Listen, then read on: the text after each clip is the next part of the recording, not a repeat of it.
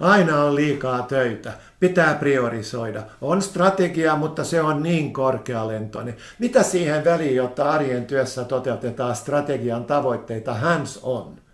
Nyt tarvitaan ketterää johtamista.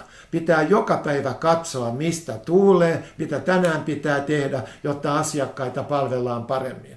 Mutta onko kaikki, mitä yritetään tehdä, todella sitä kaikkein tärkeintä?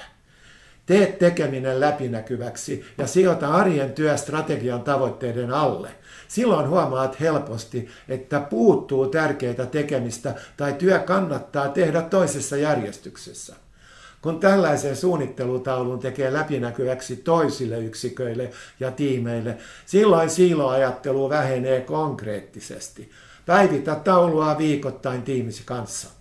Taas kerran teknologia mahdollistaa uuden ketterämmän toimintamallin. Skippaa Excel ja PowerPointti, luo yhteinen työtaulu, esimerkiksi Trelloon. Saat online-työpöydän, jonka voit jakaa. Kettinkiä!